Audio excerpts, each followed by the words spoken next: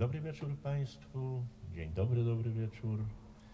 E, No, mam zaszczyt zaprosić Państwa tutaj, na tej sali, w tym klubie, klubie pieśniarza, przewspaniałym klubie e, i tych, co są przed monitorami teraz e, komputerów, na wieczorek poświęcony wybitnemu wrocławianinowi. Aczkolwiek nie urodził się on we Wrocławiu, tylko w Nowym Targu, ale cała jego twórczość, e, nawet mowa, nie zdradzały tego, że jest on góralem, oryginalnym góralem.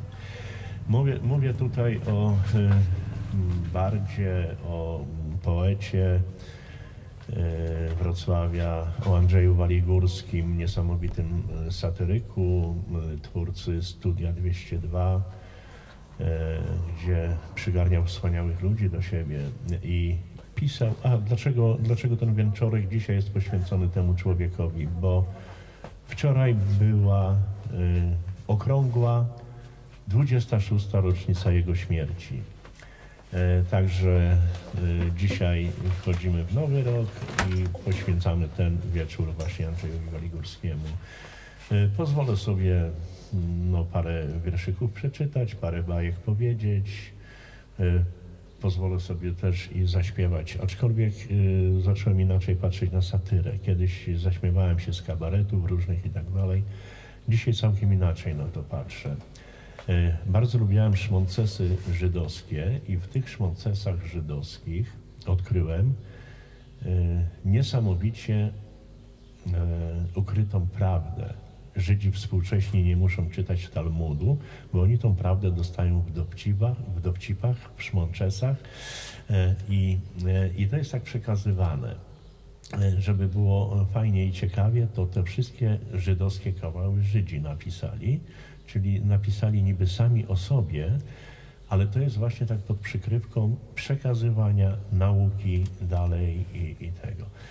E, Kiedyś nawet e, tak myślałem, żeby zrobić taki mm, wieczór przy szalasowych świecach, e, ale gdzieś odeszli moi przyjaciele i no nie ma. Ostatnią piosenkę poświęcę także im. I tak może wrócimy do Andrzeja. Andrzej Waligórski kiedyś pisał o dziamdziaku. Bardzo dużo pisał, występywał dziamdziak w jego poezji.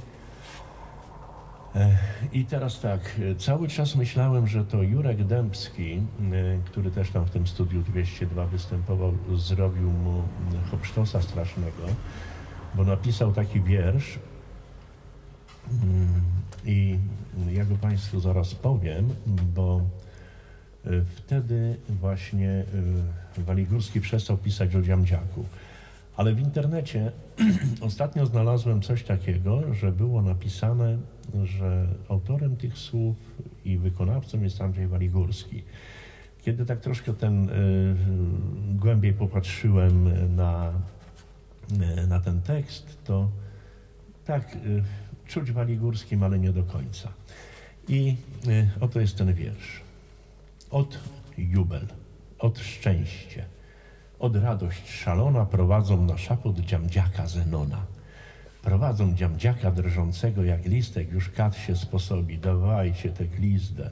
Już mu go pod nogi rzucili jak worek, już kat splunął w ręce, już chwycił toporek, a lud zapalował i wspiął się na palcach i jął się domagać.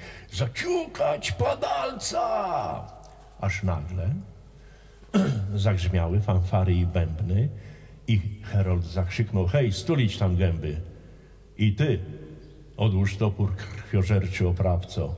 Tu dziandziak pokraśniał i jęknął, o zbawco.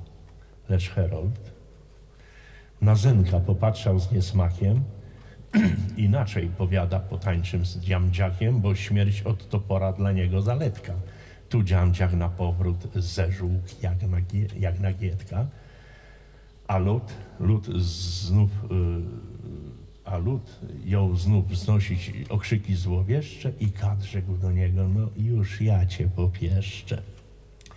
Lecz Herold skinieniem uciszył tłum w oku, w oku rozwinął pergamin i czyta.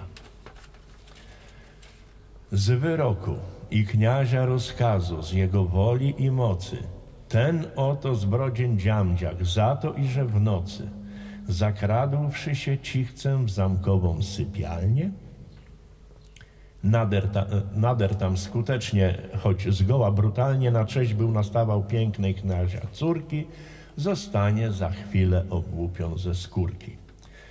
Następnie we smole unurzon popachy, żwawym kurs galopem przez dwa wałachy włóczon ma być w kółko po miejskim Majdanie, po czym ma być męczon przeze przypiekanie narożnie długachnym, leboli na trzonku, a że przyjdzie moment obcięcia mu członków. Tu dziamdziak zaskamlał. Ludzie, niech ja skonam, jeślim się domyślał, że to była ona. Znaczy się Jadwiszka, to bym się nie odważył. A tak, tom się skusił, bo mnie dojrzał twarzy. Ćma była w Alkowie, że choć daj popysku. Tu nagle kniaś wstanie i ryknie, ty chłystku, po krako padalczy i błaźnie. Chciałbyś się wymigać ode strasznej kaźnie. Tu dziamdziak przyklęknął i odparł, no chyba. A zatem wstań. Nie chcę na twe zdrowie dywać. A zalisz, nie darmo łaskę ci te czynię. A za co? A za to poślubisz Jadwinie. Nie zechcesz? To każe wałachy zaprzągać i majdan rychtować i cię po nim ciągać. Tu dziamdziak spojrzał w to miejsce, gdzie loża i ujrzał Jadwiszkę siedzącą wśród dworzan, a ona już wstała, już biegnie przez rynek, już Zynka dopada i krzyczy Mój Zynek! Co Zenek widząc wstał, zezł zgrzebne łachy i wrzasnął do kata Zaprzągaj wałachy! No. I to by było tyle, co y, do śmierci y, y, do śmierci właśnie Dziamdziaka. Dziam, Dziamdziak przybierał różne imiona, no i później Waligórski zaczął pisać o dreptaku. Nikt go już więcej nie uśmiercił chyba. Tak strasznie, przynajmniej taką brutalną śmiercią.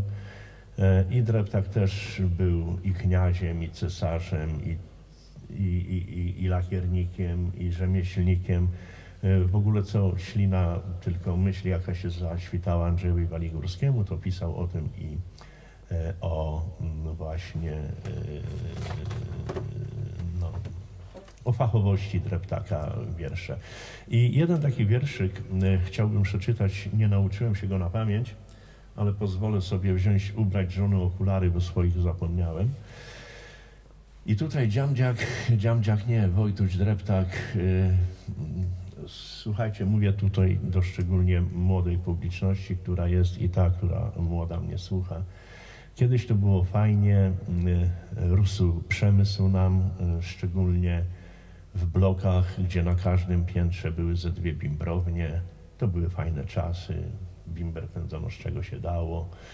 Y, prawda, nie było można tych drożdży dostać, a wszyscy mieli, no ja nie wiem, nic nie było w sklepach, a ludzie mieli wszystko.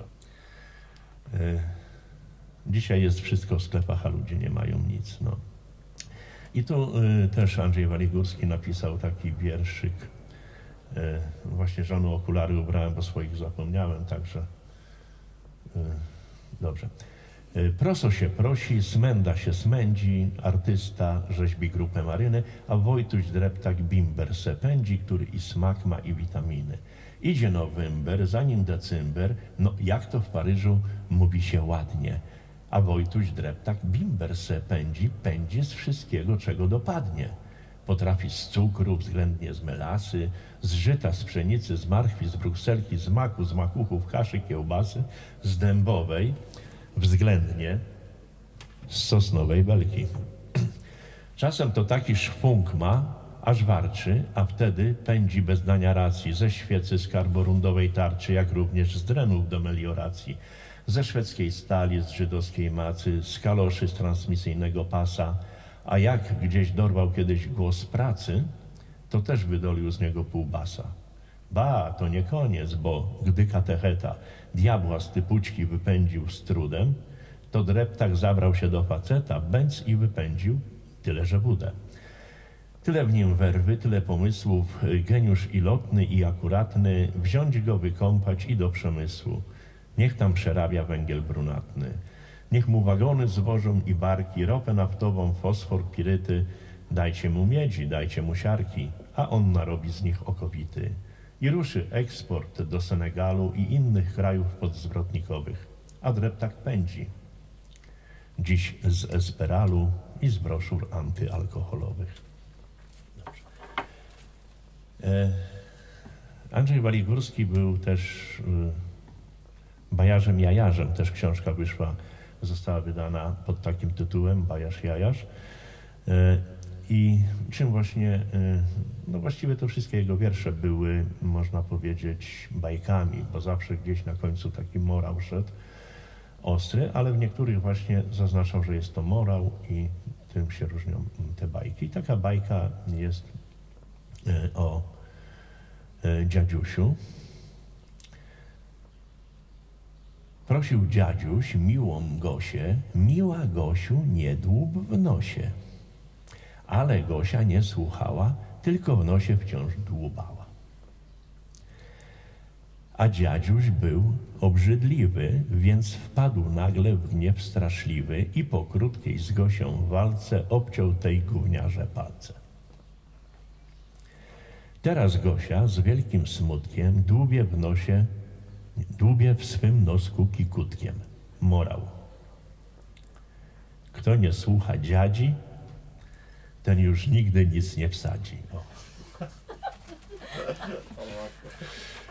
E, słuchajcie, i e, cały Andrzej Waligórski, on zawsze, jak ja pamiętam, to on na scenie zawsze występował, zawsze miał kartki, nie wiem, czy tam coś było napisane, czy nie. I albo czytał, albo udawał, że czyta, prawda? I kiedyś, to pamiętam bardzo dokładnie, jak to był rok 80. Jeszcze stan był zawieszony chyba, 82 chyba, albo pierwszy, nie, drugi.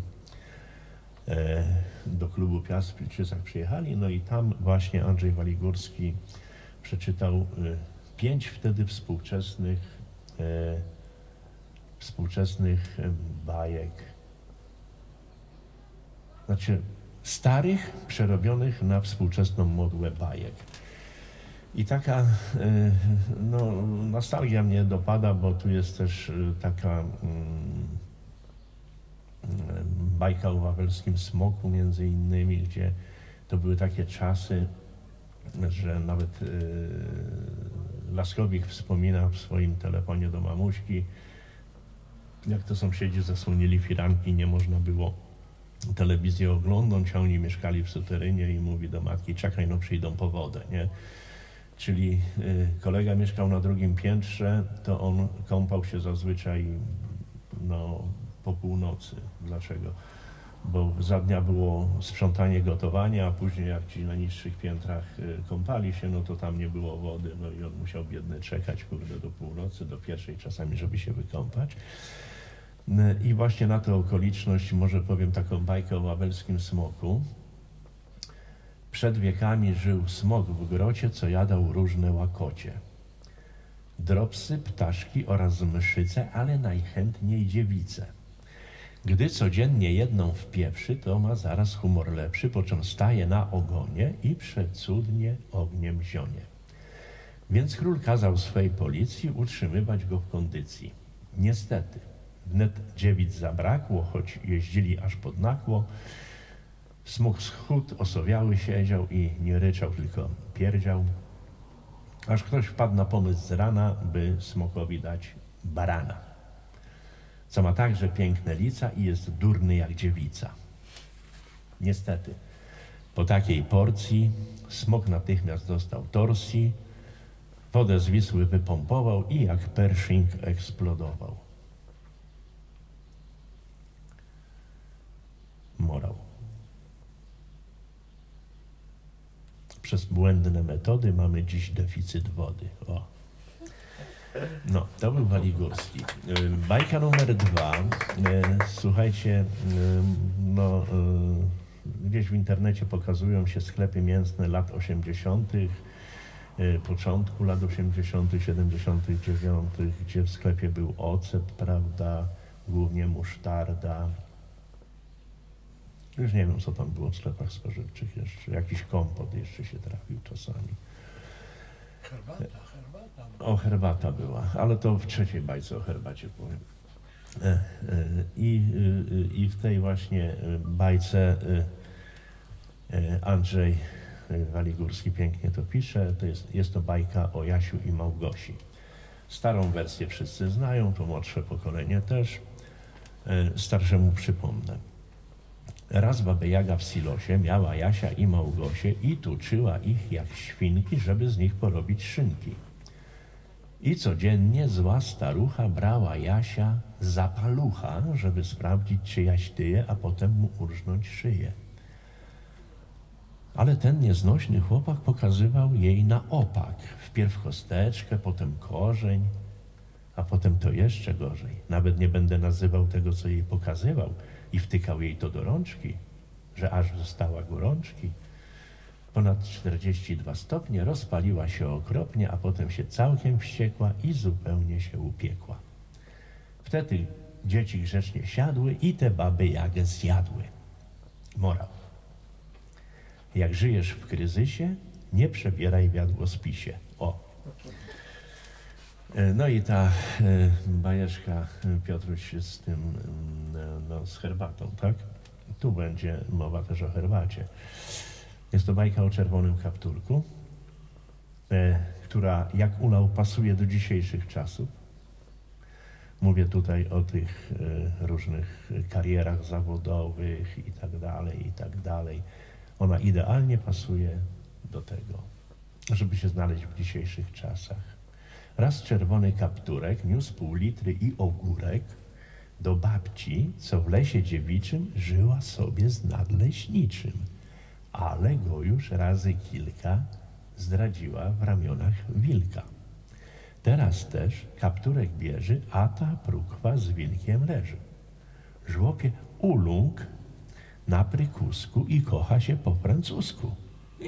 Jak zobaczyła dziewczynka, że z jej babci taka świnka, zawołała Gajowego, żeby też się pośmiał z tego, ale on ze swojej dwururki ustrzelił ich jak, jak wiewiórki, po czym obydwa trupy zakopał koło chałupy, ucałował dziewczę mądre i wlazł razem z nim pod kołdrę, gdzie wśród śmiechu i radości dożyli późnej starości morał. Kto szybko kabluje, nigdy biedy nie odczuje. O. To jest właśnie w dzisiejszych czasach trzeba donosić na współpracowników, na kolegów. Kiedyś też tak było, ale nie tak nagminnie jak teraz, nie? E, e, następna bajka to będzie bajka o... O tym była, o tym była. O, aha. O Wandzie, co nie chciała. E, tu jeszcze przypomnę, że występuje takie magiczne słowo Energiak, to jest Niemiec z NRD, czyli Niemieckiej Republiki Demokratycznej, bo kiedyś były takie Niemcy, takie Niemcy, teraz są jedne i, e, i właśnie jedna Wanda, córka Kraka, chciała wyjść za Energiaka. I faktycznie jeden Helmut przyszedł, przyniósł kiszkę, wermut, więc krak ich pobłogosławił i w sypialni ich zostawił, żeby sympatyczny Niemiec mógł jej uszknąć ślubny wieniec. Ledwie drzwi się zatrzasnęły, straszne rzeczy się zaczęły, bowiem ten Helmut nieśmiało wyjął kawę i kakao, cytrusa kawał dość spory i przeróżne tranzystory, a potem co za gangrena wyciągnął dlań Volkswagena. Ona w krzyk, że on zachodni a on na nią chyc bez spodni i tak go poniosły zmysły, że razem wpadli do Wisły. Morał. Prasa słusznie twierdzi, wróg nie śpi, a Wisła śmierdzi. O. E, I e, na zakończenie będzie e, bajka o królewnie Śnieżce. Tu będą dwa morały. Kiedyś zła królowa żyła, która Śnieżki nie lubiła i kazała, by Gajowy pozbawił królewnę głowy. Lecz królewna po cichutku uciekła do krasnoludków, gdzie z siódemką tych kurdupli żyła w grocie czy tam w dziupli. Więc królowa, stara kwoka, podrzuciła jej jabłcoka, dodawszy tam izotopu. A ta śnieżka żłopu, żłopu, wyżłopała pięć kwaterek i grzmotnęło nią o skwerek. Nie dość, że się sama gruchła, to krasnoludków przygniotła, którzy właśnie ze swej groty wychodzili do roboty, a pod ciężarem jej zatka została z nich marmolatka. Morał. Za królewskie zbrodnie zazwyczaj cierpią przechodnie. I drugi morał tejże samej bajki jest taki, że tak już jest, że tak już jest, że w życiu bywają bici, mali, trzeźwi, pracowici. No, to był cały Andrzej Waligórski z tymi pięknymi bajkami. Aha, jeszcze może takie też pasuje do bajek. Oczywiście wszędzie są morały, prawda? E, Wiersz nosi tytuł Rewanż. Oto romantyzm, poezja czysta, fakt godny pieśni, wierszy, pomników. Pobrał się Gucio, biedny artysta, z córką wytwórcy bubli z plastiku. Gucio na studiach przymierał głodem, z buta mu nóżka sterczała bosa, prywaciarz zaśmiał willę z ogrodem, fiata, żaglówkę i psa z fajnosa. Gucio swą wiedzę rozszerzał stale, w nocy o nowych prądach rozmawiał, prywaciarz robił z plastiku lale, takie paskudne, że tylko pawia. Więc po bogatym i hucznym ślubie Gucio odwetu poczuł chęć zgubną. Za wieszczem mruknął dwakroć, to lubię, po czym urządził im noc poślubną. Im, to znaczy całej rodzinie, wszystkim zapewnił przeżycia miłe.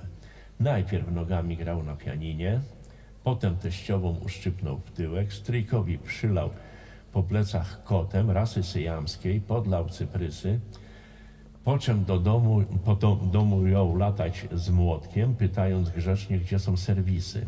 Znalazł je wreszcie, trwało to kwadrans, bo rozentale łatwo się tłuką. Następnie oblał keczupem szwagra, a babcię nazwał starą łazuką. Mnóstwo y, atrakcji wymyślał jeszcze, używał noża, pałki, powrozu. Wreszcie swą żonę, niewinne dziewczę, zmusił do takich rzeczy, że zgroza. W dodatku wszystkich tak upił przytem, że straszne było to widowisko, aż późną nocą czy bladym świtem sam padł na brudne pobojowisko. Wtedy prywaciarz spytał autora, co ten wiersz właśnie pisał w kąciku. Przepraszam, jaki w tym wierszu jest morał? Czy to satyra dla, dla rzemieślników? Autor zaś spojrzał na niego miło.